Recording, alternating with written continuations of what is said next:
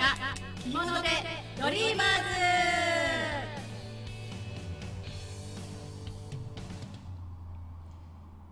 じゃーん始まりました。運命会か着物でドリーマーズです。今日も50分間よろしくお願いします。よろしくお願いします。さあ今日は可愛いピチピチのお嬢さんが来てまして。え？ピチピチですか？ちょっと言い方がなんか親父っぽかったですけどすみませんね、はい、ピチピチです。ねピチピチですよ。それプラス今日はねなんとスタジオにギャラリーの人もいたりとかしてね。お友達が応援に来てるということなのでなんかいつもと雰囲気が違う感じですけども、えーこんなので50分間やっていきたいと思います。よろしくお願いします。よろしくお願いします。さあではまずは、えーいつものように、えーこちらでございます。えー、鳥越アズーリ FM の、えースタジオにはちょっとコロナの時がありましたので大きな窓があります、えーなので緊急車両とかねいろんなことがあると外の声が聞こえたりしますが、えー全然尖った番組ですので気にしないでいただければと思います。一緒にね臨場感を楽しんでいただければと思います。はい。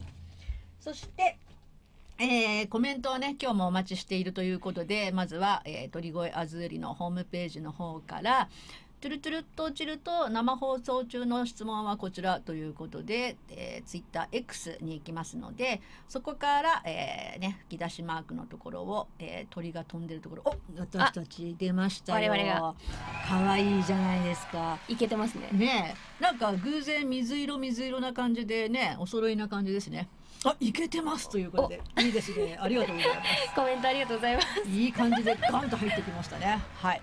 で、えーこのように簡単にね、えー私たちに対してコメントいきますのでよろしくお願いします。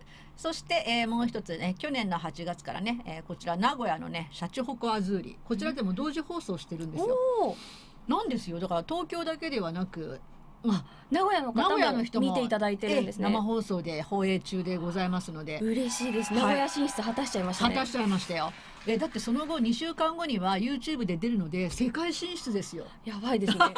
ビッグになれちゃいますビ。ッグでございますはいこちらもね、えー放送中の質問とかねコメント入れていただければと思いますのでよろしくお願いいたしますはいそして、えーではスポンサーの方も紹介していきたいと思います、えーまずは着物ドリーマーズということでえーこちらも、えーカレンダーがね、えー一番トップページについておりますのでぜひこちらを見ながら今日はやってるかなとかねどうなのかなって昨日はねちょうどお休みでした、えー歯医者に行ってるってねあそこに書いてあります、えー今日明日はね普通にやっておりますので、えー12時から。すごいですね。飲み会の予定まで書いてあるんですか？そうなんですよね。うちの旦那さんのねほぼほぼほぼね素行がこれでバレてバレてしまうという風な感じで。何やってる何やってるって。まあね、えーホームページ見たよとか言ってあ昨日は歯医者でしたっけ？とか言ってね来ていただけると嬉しいかなみたいな感じでございます。はい。で、えー着物や浴衣山のように取り揃えてますので遊びに来てください、はい、そして、えー私の運命学カウンセリングですね、えこちらもスポンサーになっておりますけれどもちょっとね、えー、とトップページをねちょっと書き直そうかなと思ったらちょっとドタバタドタバタしていて書き直しがちょっと間に合わなかったりとかしてるので、えー今日ちょうどね、えー先ほどねこのゲストさんのお話が出てなんか気軽に占いとかするとこないですかっていうのでこの4週目の土曜は魔法の館ですっていうこれをね、えーもう一回やっていただけると。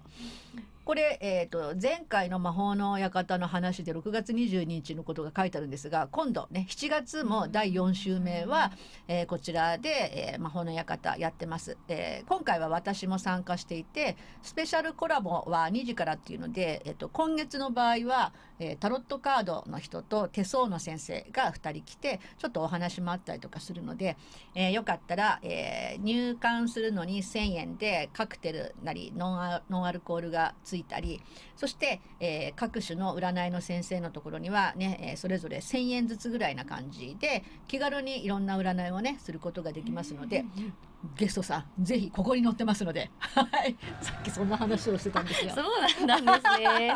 いいな。いいな。で、ぜひ絶賛遊びに来る人募集中ですのでね、来ていただければと思います。えーまた近日中にいろんな情報はね載せていきたいと思いますのでこちらのページも見ていただけると嬉しいです。ありがとうございます。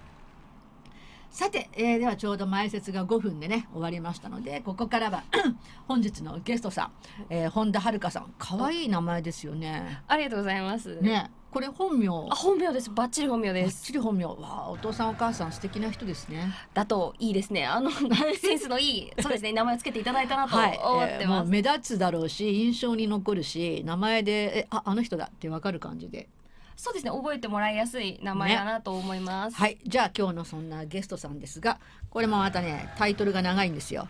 はい、芸術エンタメ事業者専門の、えーノルン行政書士事務所の代表の本田遥さん。ではい、えー、肩書き長くて恐縮なんですが、えっ、と そうですね、えー、芸術エンタメ事業者専門ノルン行政書士事務所代表の本田遥というものです。はい。長いのに噛まない。さすがありがとうございます。はい。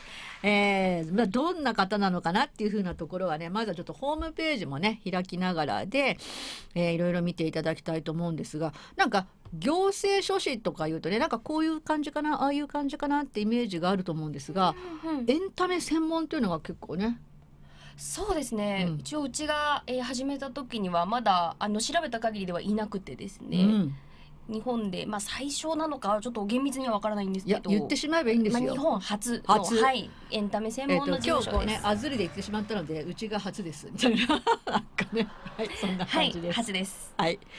そして、えー創作活動をねいろいろやってるお友達を見てたらなんかそんなのが大切だななんて思ってしまった。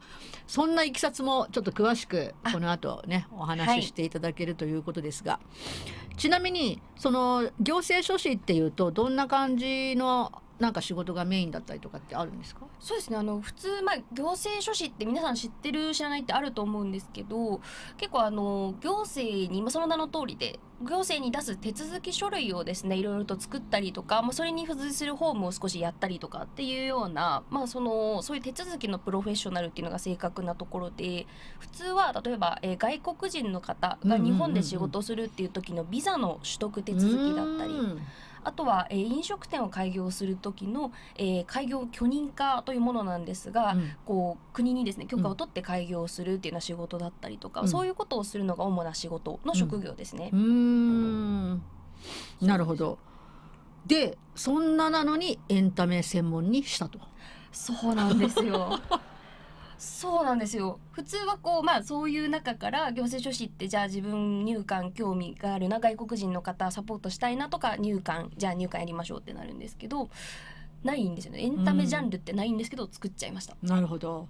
じゃあねこの辺りのお話は含めてで、えー、とちょっとプレゼンをやってピッチコンテストがあったっていうふうなことなのでそれをちらっとちょっと見せていただいてまたその辺り詳しく聞いていきましょうかね。はい。ノルン行政書士事務お所いきなりアナウン。サーさんが。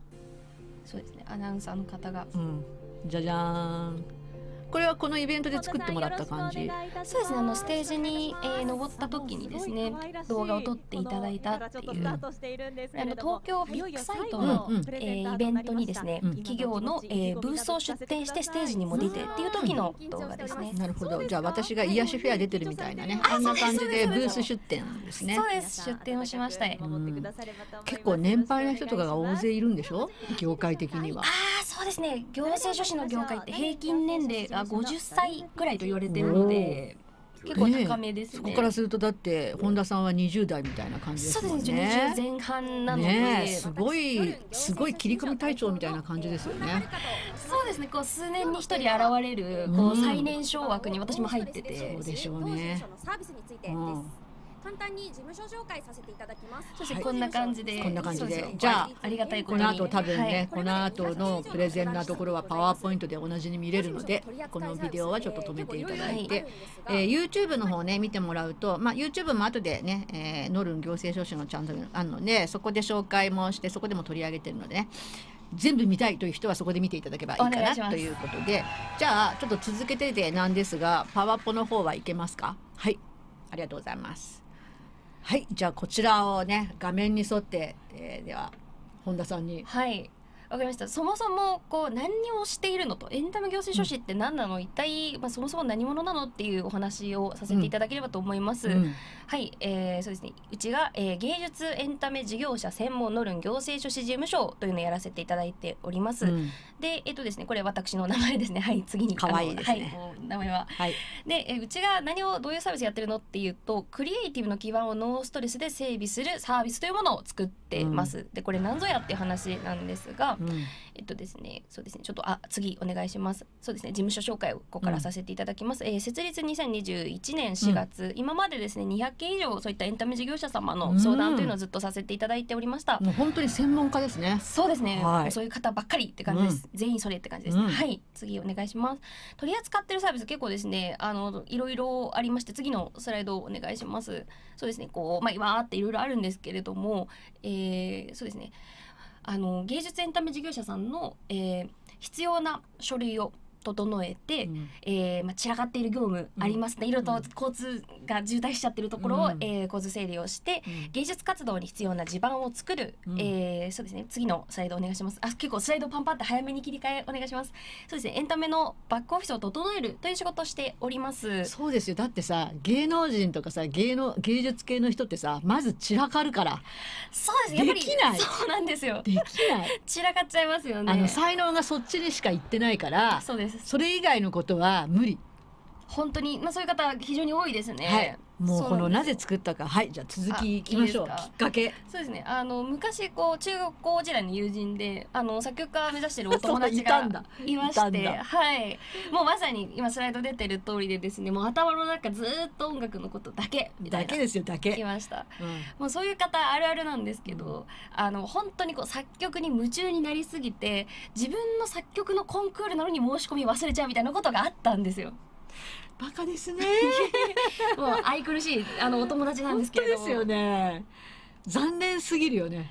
いやでもこう、まあ、そこをどうにかするっていうお話がここ巻いていくんで。なるほど。そうです。これまあ忘れっぽいって言われるじゃないですか、ん。一遍ちょっと間抜けだな普通の人からするとね。そうですそうです、うん。でも本当にそうなのかなみたいなことをずっと昔から、まあ、ぼんやり疑問に思っててそうですね。こう、まあ、あの熱中しているような状態というか、えっと、そうですね次のスライドお願いします。そうですねこういう、まあ、本当にこう実はうん。ぼんやりしてるように見えて、うん。心の中は燃えているような状態なんだなって思いました。うん。でこれあのー実際に何か芸術活動をしていくにあたって熱中って絶対必要だそうなそうです。そうなんですよ。この熱量が高いところが創作で最終的に素晴らしいものにできるってことになるからこれが適当で普通だったら凡人だからね。あそうですねそうですね、どうしても中心の部分って絶対必要なんですよね。ところがそれだけだと芸術家として世に出ていけないんですよ。そうなんですよ。そうなんですよ。本当に真ん中必要なのにでも真ん中に集中しすぎて他のことできないと世に出ていけない。ここに書いてある通りで周りに経営のこと考えたり あとはこうどう周りに見せていくかとか、うん。素敵な作品作っててもどうやってアピールしていくの何にも考えてなかったとか、うんうんあとは外部のパートナーさんとうまくこう仲良くやっていかないといけないんだ喧嘩しちゃいけないんだとか、うんでですね。またもうちょっとこう幅広くそうですね。ここに出している通りでもうちょっと細かく言うとこんなことをやりながら芸術活動に集中できる人ってどれだけいるだそろうと。れもう一握り。そうですね。本当に難しいですうん。ね。やっぱり世に出てる人ってある程度そこをフォローしてくれるようなスポンサーがついたり企業さんがついたりなんかしてくれてるから出るんですよ。そうですね、なんかそういう方運よくというか、うん。やっぱご自身の実力もあると思うんですけどタイミングとかもあってサポートが見つけられればいいんですけど、だってヨーロッパの教会とかだってねああいう芸術家の人たちみんなスポンサーでああいうのがついてるからあんなところで絵描いたり彫ったりとかできてるわけだからね。そうなんですよ。そうなんですよ。こうサポート安定的にサポートをしてくれるこううん駆け込み寺じゃないですけどうち、に来たら絶対ある程度サポートしてもらえるよみたいなところ世の中にそういえばあんまりなくないってすごい着眼点すですね。さすが本田遥。いやありがとうございます。そうなんですよ。そうですよ。もうここに書いてある通りで、うんいろんなことを並行してバランスよくうん芸術活動以外のことも行っていかないと結果こう本末転倒継続してクリエイティブできないよねっていう状態になっちゃうよねって思いましたう。んそうですね。ここを一体どうやってこう解決していくかっていうのがずっとずっと今まで私が事務所としてですね研究してやってきていることっていう感じですね。うん。そうですよ。これまあここからは課題の話になるんですけど、クリエイティブ業界どういう課題を抱えてるか、まず、えー並行タスクは NG という。次のスライドお願いします。あのこれもうだ見ていただくとあーってなると思うんですけど。当わかるわかる。そうですよ。食べ合わせが悪い組み合わせってあるんですよね、うん。本当にこう脚本家の方演劇の脚本家、うん。で自分の劇団も持ってるような方って、うん。脚本制作を頑張って、ん。でもその他にもうん。舞台もやるからチケットをどのぐらい売れるのかも考えなきゃいけないそうなんですよ。ねだって劇場借りて、ね、お客さんいなかったらおいおいって感じになってしまう。私も劇団活動とかやってたのええでわかるし、うん、そうなんですよ、まあ、こういうのあるよねっていう。で、えー次のスライドお願いします。これもよくあるあるです。その2、うん、団体内にバックオフィスが得意な人材がいない。そうこれもよくある。非常によくあります。全員役者だから無理みたいなね、ずっと芸を頑張ってきてもっとこう自分の芸を広げていきたいから劇団を作った。そうなると集める仲間も必然的にみんな劇役団。員者。そう劇団員。そうですね。そうすると一般の会社に就職をしたりとか、えーパソコンを使って何かそうですねこう事務作業的なことをした経験っていうのがないメンバーが全員集まりました。みんな板の上に乗るけど机の上には行かないみたいな。あそうですそうですそうです。そうです。っていう方いらっしゃいますよね、っていうのよくありますね、はい、そうですね。なので、まあ、その制度上というかうん。団体法人化してるような場合だと、うん。法人なので、うん。会社として扱われるんですけど実際はですね、えー次のスライドを出していただくとそうなんですよ。団体としてもうちゃんとこう機能して、うんうんうん団体ってちゃんとあると思うんですよね。運営がしっかりしててって思うイメージだったりとか、でも本当にそういうふうにがっつり機能してるところって本当のごく一部。少ないですよ。でだだいたいその団体長であるさね、うん。えートップの人が台本書いて演出して役者やって何やってって言って事務作業もやってるみたいなことが多いから。そうですね。で潰れていくみたいな。そうですね。でそこに集まった劇団員っていうのはね役者をやるだけで他にいろんなことはできない。せいぜいやってもチケット売るだけみたいな。あそうですね。そうですね。そう。いう方やっぱり多いですね、うん。これってでもこう構造上仕方がないというか、うんこうコアの部分に熱中しないと、うん。そもそも芸って作れないというか、ん。作品クリエイティブできないから、うん。確かにこうなっちゃうのって仕方ないよなっていうのをちょっと思ってましたね。そうでそっち側ができる人っていうと役者ができないだとかそっち側ができる人って本書けないとかね。あそうですねどうしてもそれはうどっちかどっちかみたいになるもんね。そうですね。うん。事務作業にできる方はちょっと真面目すぎちゃって面白いことなかなかできないとかうんありますようね。んそうなんですよなのでそうですそこで、えー本当にそういう方にとって役に立つサービスとは何なのか、うん。今までずっと考えてきました、うん。ここからちょっとサービスの紹介になります、はい。サービスのキーワード、えーリアルタイム、えーその場で持ち帰りなし、うん。でこれうちの三大キーワードす。ごいですね。相談を受けたその場で持ち帰りなしでいろんなことができちゃう。そうなんですよ。ご芸術家の方これ多分次のスライドをでいただくと、あのそうですね。あサービスどういうじゃあさっきの、えーリアルタイムその場で持ち帰りなしこれ何ぞやっていうことなんですがうちの人気のサービスでイベント集計報告っていうサービスがあります。うん。ただのイベント集計報告じゃなくて、うん。出張イベント集計報告です。これ、えーどういうものかというとイベントが終わった後に楽屋にお邪魔させていただいて、その場で領収書とか、うん。あのチケットの売り上げとかを集計して帰ってきちゃって、うん。もう皆さん打ち上げどうぞ行ってきてくださいねっていうやつです。い。すごいすごいすごい。それはみんな喜ぶと思うそうなんですよ。うん。もうみんな舞台終わってうわーってなって。はいとかでそうです。飲み行くみたいななんかそんな感じだよね。全員だって。でも本当は運営的にはそのタイミングでせっかくみんな集まってるから今領収書とかもらっとかないといけないよねみたいなことありますよね。あるある。それをやるっていう後日明日ないからね。そうですそう明です。後日とかもっとない。明日明後日になると次の舞台の話がまた始あまっちゃうんで。始まる始まる始まる。でもそれ終わったことだからみたいなそうですそうですそうですすそうです。なのでその場で私二十歳の頃とかそんなそんな人生だった。そうでしたか？まさにこういう感じでしたか、ね。でしたでした、もう本当ににこうなんでここのあのスライド出てる通りでこういう紙のバッグにですね超アナログなんですけどノルン行政書士事務所っていうので7つ道具が入ってるわけですあよスキャナーとか、でうん。これを一生懸命持って、うん。お邪魔しますって言って、うん。帰っていく。イメージで言うと水のトラブルクラシアンみたいな。すいません助けてくださいって呼ばれたらさささささって言ってで帰ってくるっていうピンチヒッター。そういうサービスですね。次お願いします。いやこのこの今日のね50分番組いいね。いろんなところに持っていけるね。ありがとうございます、ねいいと思う。はい。いや本当いい回ですね。これ、うん。あのこれも人気なんですけど、うん。事業計画書作成、うんうん一応こう芸術の団体法人としてやっていくんだったらこう銀行の融資だとか行政の手続き的に事業計画書ってものを一応作らないといけないんですよ。まあそうだよね。でもこうじゃあそういう方たちが売上のシミュレーションとか2年後3年後のことを考えうん。て事業計画書を作ることができるかっていうとちょっと難しいことも結構ありますよね。あんまりないんじゃないのかな。そうですね とはいえやっぱりきちんとしたものを作らないと全く考えなしに事業行くっていうのはいいことではないっていうのがあるので、うん。予測は立てなくちゃいけないからね。そうですね、うん。もうそんな時のためにうん。こちらがいろいろとあらかじめ準備させていただいてお客様の事務所に行って、うん。またはこうそうですね一緒に来ていただいて、うん。その場でうん。面談をしながうん。ら事業計画書を完成させてしまおう。でその後はもう飲みに行くなり次の舞台考えるの好きにしてくださいっていうサービスです。なるほど。どんだけすごい飲みの好きな人たちと付き合ってたみたいな感じだね。これまでの200件。ね。200件はい。そうい。ういやでもこれもその場で整理してくれるってすごいいいよね。そうですね。もうポイントはもうその場でですね、うん。いやじゃあな本田さんの頭の回転の速さってすごいマッハだね。いやーあのもうこうマッハだもしマッハだとしたら今までこうマッハの頭でそこにずっと向かってきたんですごいことになってますね。すごいね。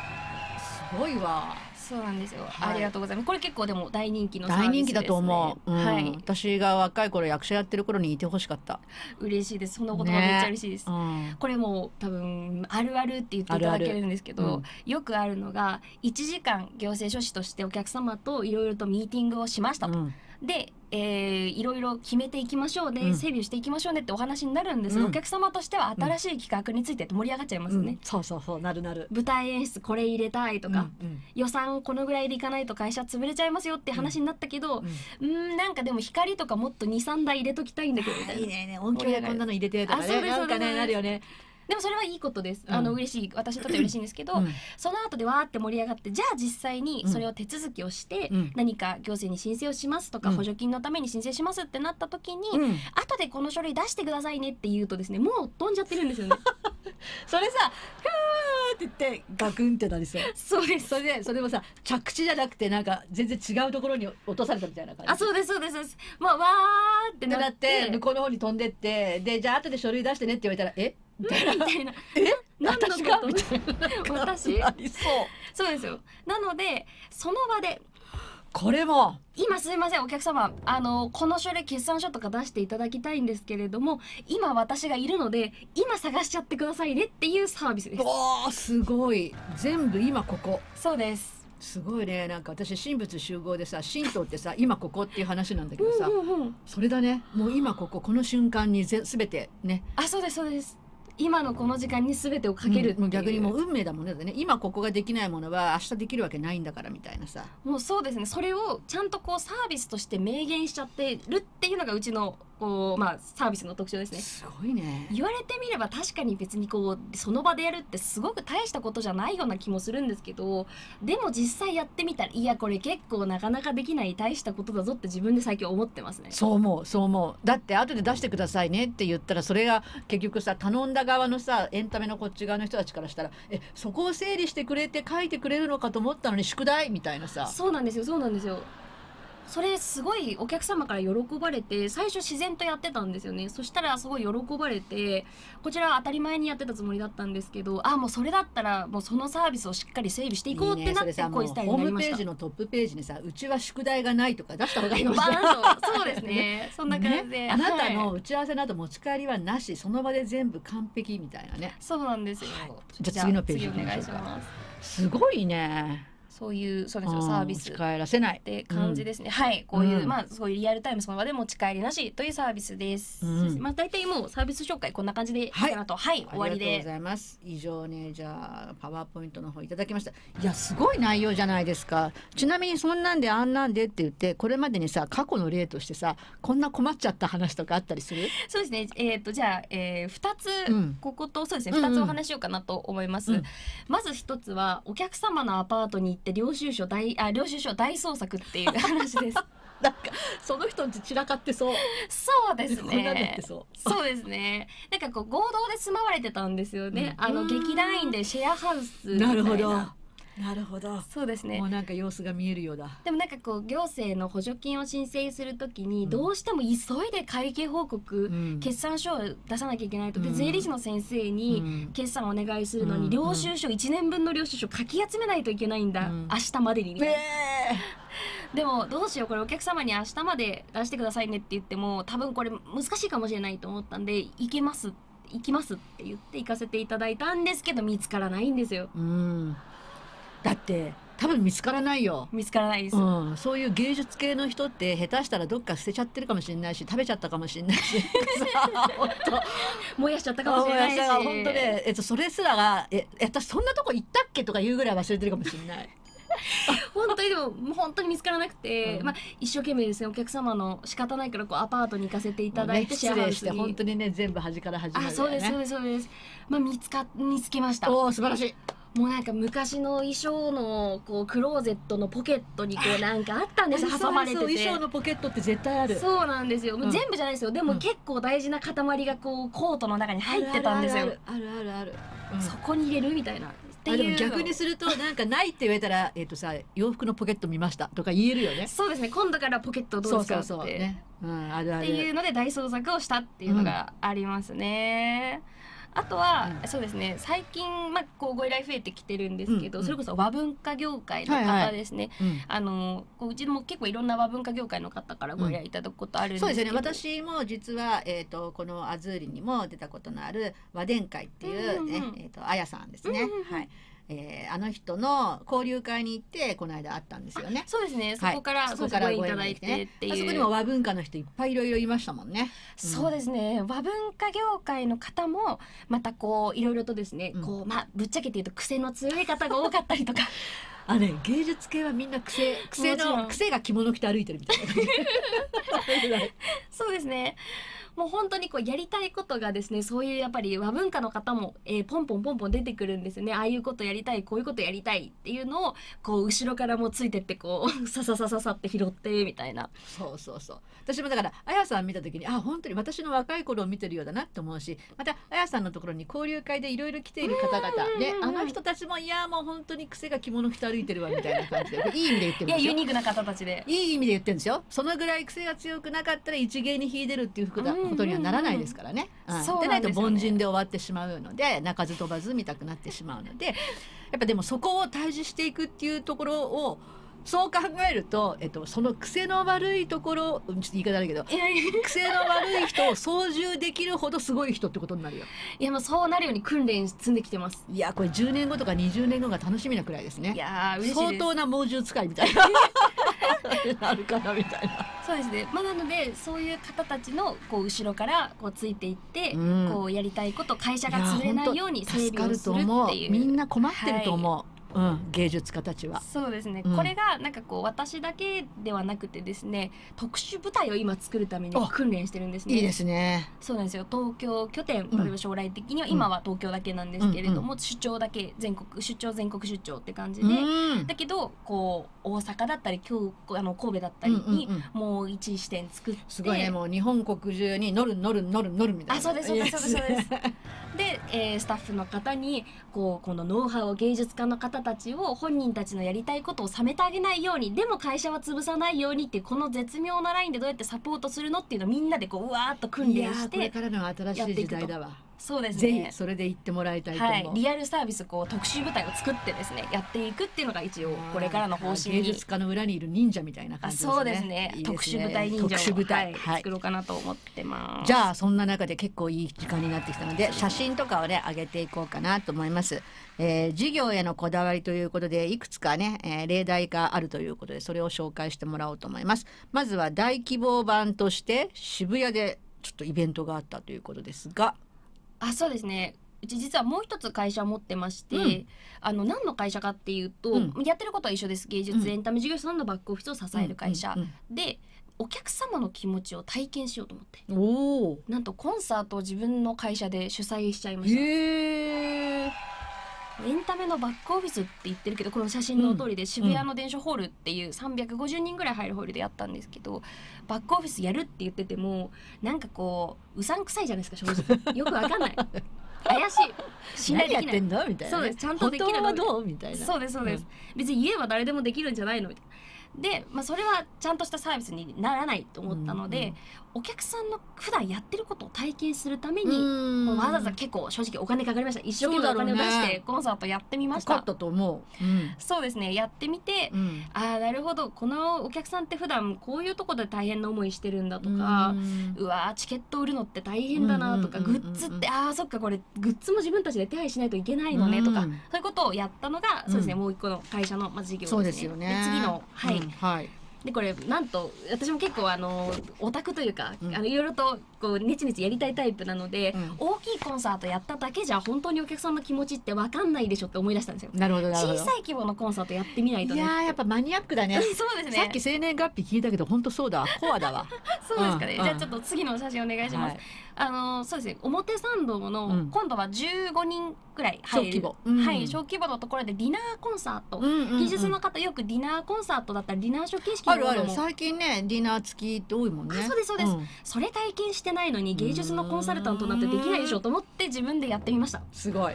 でこれがそうですね次のあの写真見ていただくと分かるんですけど、こうオペラ歌手の方をうん。ちょっとこう可愛くして、すごい可愛いですよねねあそうです。でも彼女あのすごいこうあのイタリアのですね音大首席で出てるようなすごい歌手の方なんですけどね。でもこうプロデュースさせていただいて、うん。でなんかアニメの声優んさんみたいな。あそうですそうです。そういう容姿にしてみました、うん。でいろんな方向性でコンサートできるよね。でもこれもこだわるとね話すと8時間ぐらいあるんでここでカットで、はい。やめときましょう。みたいなねそれは今度じゃあぜひ飲み会でみたいなねああコメントが来たそうですよ。嬉しいですね。誰でしょう？みたいな。はいありがとうございます。じゃじゃん。じゃじゃん。じゃじゃん。あいっぱいなんか来てたえー、あすごいすごい。1枚2枚3枚4枚も来てますね。はい。じゃあまずはディアウーマンの黒子さん。あありがとうございます。ありがとうございます。ね、ななみさん、ななみ先生、本田様、こんにちは。今日の放送はかなり内容が濃いって。おおね、素晴らしいサービスに感動しています。灼熱の金沢八景から仕事をするふりも、ふる、するふりもせずに視聴してますって。えガン見ってことですか？あのさっき言ってた野菜の移動販売とかをねいろいろしてくださってる方なんですよ。なので嬉しいですねありがとうございはます、もうね暑い中倒れちゃ困るのでこの番組だけ見といてください。はいそんな感じですね。あ風花さん。おさっきほら言ったこの間もう覚えてます。そうね。バッチリあの美魔女のはいはいはい。美魔女のそうそうそう、えー、ななみ先生本田さん本田様拝見しております。ありがとうございます。はい。え実は近くのカフェにてどんなお話が聞けるのか楽しみにしておりますって。近くに。ありがとうございます。すごい。嬉しいあそして、えー、本郷さとこちゃん、えー、と私のディアウーマンっていうね団体の方での知り合いで。さとちゃんありがとうございます。ありがとうございます。えー、ななみ先生こんにちは。本郷さんはじめましてってね若いのにすごい素晴らしいですって。ありがとうございます。なんかね、えっと、行政書士ねエンタメ専門とか言いますがいろいろなことやってそうなのでいろいろなんか手伝ってもらうといいと思います。ありがとうございます、はい、あそして、えーまたこちらもね野菜のたけちゃん。こちらもそうなんですよ、えー、ななみ先生本田さん根野菜根野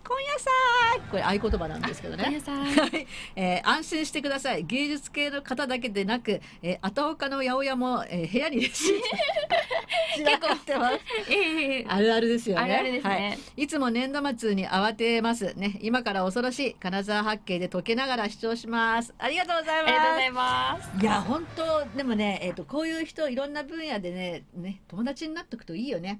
お話聞いてるだけでもあそっかそういうことかとかねプラスなこといっぱいありますもんね。いやだと嬉しいです。はい。ありがとうございます、はい。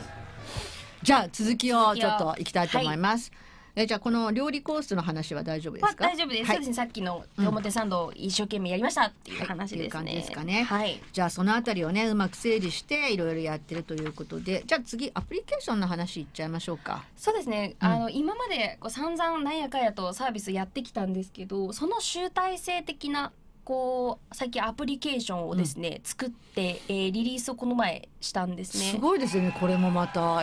やっぱ本田さんの頭の中はどうなってるんでしょうね。そうですね。ね あのこれは、えー請求書 Now とえ、いう、うんあのアプリなんですけど、うん。これ何かというとですね、あのもう書いてあって一番ババンって出てるのが、うん。えー登録不要スマホで簡単にその場で LINE で請求書がささっと発行できるっていうアプリなんですね。これさ多分野菜のたけちゃんとかいいと思うよ。あぜひエンタメ関係ないもんねこれね。そうですね。全然うん。エンタメ、あのの専門のうん。ものではないので、うんエンタメの方たちのですねそういったこう、なかなか難しいなこういうのできないなっていうところと、うん。自分が実際にコンサート主催してみたりとかして、ううんわここ困ったなみたいな部分から着想え着想を得てですね、うんうん作ったものだから困ってる人全員に対応できるってことだもんね。そうですそうです。そうです、ん。んこれいいと思うわ。今これちょうどですね、うん。あの一般に使えるようにはなってるんですが、うん。えベータ版デモ版ということで、うん。えー開発途中のものを実はあえて世の中に出しちゃってるんですよ。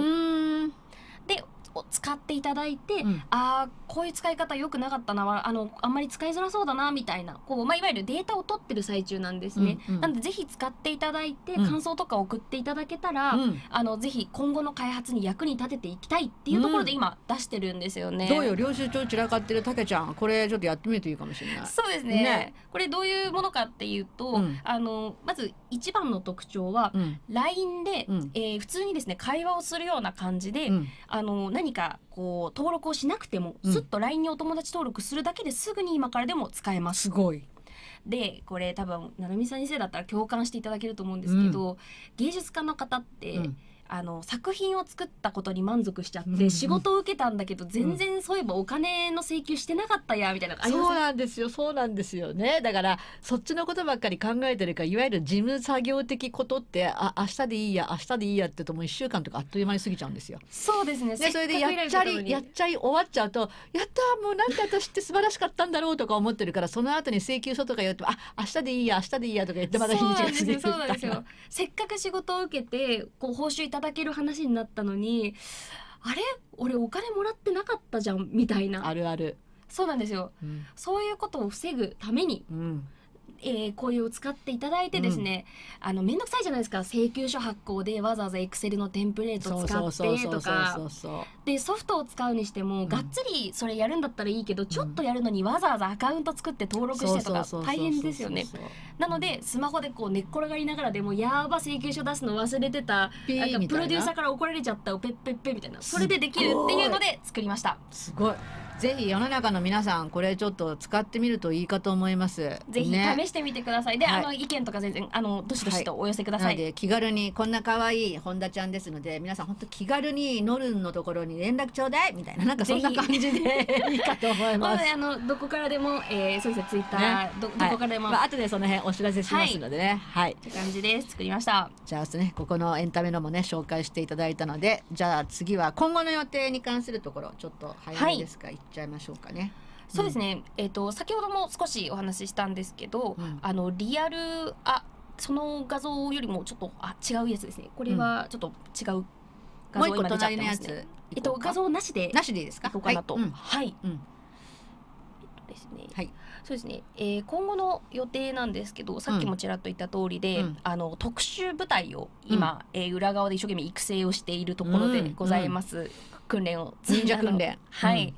で、えー今後の展開なんですけれども、うんリアル店舗を出したいなうん。とおすごい。考えてます。すごいすごいすごい。はい。うん。もうその名もですね、うんあのその場でエンタメサポート店っていう、そういううんそういう店舗を作ろうタイトルそのまま仕事の内容みたいなあ、感じだ。そうですそうですそうです。うんわかりやすい。そうですね。うんもう本当にこうまあ行政書士事務所うん。のこう一角にそういう方たちを呼べるスペースを。来ていただくんですね。うん。でうわー今月事務作業をまたやんなきゃいけないのから大変だなっていう時にうん予約を取ってうん来ていただいて、うん私やスタッフがですねサポートしているその場で事務作業今月分の事務作業終わってすなるほどっきりして帰っていただくっていうまたしてもその場のあのサービスです、ね。なるほど困った時に行けばできるみたいな。あそうですそうですそうですすそうです。ごい。っていう店舗を今作りたいなってちょっとこう計画裏で一生懸命計画していいいるところでねす。。ちょっとはい空き店舗知ってる人教えて。あちょっと ぜひぜひぜひ。でもやっぱりこうとはいえいろいろ準備にあうんのいろいろかかる、うんあのそうです準備しなければならないところもあるので、もしこう協賛やりたいとか応援したい、いいなそういうサービス素敵っていう方がいたら、ぜひなんかこうご紹介していただけたりとか。いいねいいねいいね。教えていただけないかなっていうお話です。やっぱりこの今日の番組はすごくいいね。本当に普段なんかね名刺交換するだけじゃこんなところまで喋れないのそうがですね。あんなこともこんなこともね成功例とかいろんな話ができてるもんね。そうですね、うん。いや興味あるな。俺も芸術エンタメ昔やってて若い人たちを応援したいとかっていう方がいらっしゃれば、うん。こうぜひいろいろと協力していただけないかなと個人事業主やってる人はそういう人多いと思うよ。そうですねそうですね。あの最初からサラリーマンでずっと大人になってもサラリーマンの人はサラリーマンだから。うんうん。だけどうん個人事業主なんかやってる人は多分若い頃にやんちゃやってたり、うんうん。サラリーマンしてない人とかが多いから、そうですうね、ん。なんかこうそういう方うん。もそういう人。大歓迎です、ね。大歓迎。マジで大歓迎ってぜひ感じで。ぜひなんか若い子を応援したいなとかいうのもあるだろうし。あまたコメント来たって、ありがとうございあます。りがとうございます。じゃじゃーん。あいっぱい来てるよ今日。またあーすごい。2つ中。ねえーとじゃあ本郷さとちゃんさっきもね来たけどね請求書なおいいですね。でしょ？さとちゃんこれ絶対いいと思うよ。札幌ね、えー北大の池の橋橋でガン見してますって。あ今札幌なんだ。おお札なん幌か札幌の話あったよねさっきもね。あそうですね。はい。今度リアルでもお会いしたいですって。この人ね料理研究家の人なの。で結構こうやってね全国駆け回ってるのでね多分ね佐藤ちゃんもね領収書がねポケットに入っちゃうタイプだと思う。本当でも一生懸命になる方とか個人事業主の方ってそうですよね。ねこの人ねこの場でその場でね料理ちゃちゃちゃってできちゃう人でうんあれとこれとこれとそれでだだいたいこんなもんでとか言ってみんながメモしようと思ってるのにメモができないとかでいいのこんなもんでとか言ってね。かっこいい。そういう人なの。でああれ買ってくるの忘れた。じゃあないからこれでいいやとか言っちゃうの。でもね美味しいのアーティストですね。アーティスト。芸術家。のお会いしたい。の料理家の人。えー。もう後でつなげるわつなげる。ねさとちゃん。ねよろしくね。ぜひぜひぜひそしてはいまた金谷さんがもう一人ねえっ、と野菜の人この人ね。はい。はい七海先生本田さん今夜さ今夜さ皆さね。ん特殊部隊素晴らしいですねってね。僕も負けずに畑岡で特殊部隊組むかな。いいと思ういいと思う。ね、えーと思ったら遠くて青パパイヤ殿が反響欄で溶けてるから、えー十分我々特殊部隊か。そうですね。ね。多分特殊部隊ですえっねとね、野菜の金谷さんとね青パパイヤで殿とか言ってるのが、まあ、まだなこの人も仲良くしてる人なんですけどやっぱ横浜の方とかでこの人は青パパイヤの畑作ってる人なの。か多分ねこの人でも領収書がポケット入るタイプだと。みんなポケットですね。みんな請求書なおいいかもしれない。ポケット族とそうですね。たけちゃんポケット族が生まれた。ね。はい、えー素晴らしいアプリで興味深いです。ありがとうございます。ぜひぜひみんな本田さんと友達になるといろんなことが仕事の幅が広がってえー、めんどくさいことが減る。いいと思います。めんどくさいことは我々特殊部隊におね任せください、そうですよ。ちょっとお金払えばやってもらって倍のねえっと結果につながるっていうんだったらその方が絶対ですよ。いや時間のそうです無駄だもん。そうです、うん。はい。もうお任せください。人生で一番何が無駄ってねじ時間を無駄にすることが一番無駄なんですよ。早く切られて死んじゃうよみたいな感じなんですよ。私よく言うのはさ。だってもう50過ぎたらさ「えもうあと30年ぐらいしか生きられないんだからぼやぼやしてる場合じゃないでしょ」みたいな感じですよ。そうですね。もう集中していただいてやりたいことにですね。はい。はい、じゃあそんな特殊部隊がねこれからできて出展ができるということでじゃあそこに向けてまた今後の具体的な予定がそれがさっきの写真かな。そうですね。うん、えそうですね。今後の、えーお知らせと告知になるんですが、はい。えーうちの事務所がですね月に1回、うん。今、えー九段下飯田橋から徒歩5分のところで、うん。えー無料相談会というものをやらせていただいております。これは前回のチラシだからねあそうですね。これは前のものなんですが、うん。でもこんな感じで。えーはい。でうん。ちょっと次のお写真を、うん。そうですね。こんな感じでもう本当にこうあの実は昼間は塾をやっている場所です。あ昼間じゃないです。夜塾をやっていて昼間空いてる場所を借りさせていただいててななんかお勉強する場所みたいな感じだもんね。雰囲気が。塾を借りてます。う。ん。で、えーもうここ実は条件がありまして。あの誰でも無料ってわけじゃないんですよね、うん、あのエンタメ芸術家の方を応援するという事務所なので、ちょっとさっきの写真もう一回戻してもらっていい、そうですね。そうそうあそこはい。にね、そうですね。えーイラストレーター、えー劇団楽団 VTuber、うん、えーゲーム制作その他あの、うん。こういったエンタメの方たちをやっぱり応援したいということでやっているものなので、うん。一つだけあの条件があります、うん。無料相談を受けるには、うん。ご自身の、うん。えー芸術活動の実績がわかる何かポートフォリオやお写真やチラシをお持ちいただくっていうのが条件になってます、なるほど。でもさ芸術家ってさ手ぶらで行きそう ピンポーンみたいな「すいません」みたいな。無料無料ですよね。来ました みたいな感じで。であなたは何やってる人ですか？こんなんでこんなんでこんなんでえっと何かないんですか？あ忘れたみたいな。もそうですね。ありがちありがち。そうですね。あのスマホとかであの見せていただくんでも大丈夫なんですけれどもあの何かですねご自身のやってるものが分かる。どういうものやってるんですかっていうのが分かるようなものをおえでもさ見せいただく。手ぶらで来た人多いんじゃない？そしたらもうその場ですいません。絵描くか演奏してもらっていいですかっていうことになりますね。ね なんかあるあるでおかしい。またコメント来たっ今日すごい。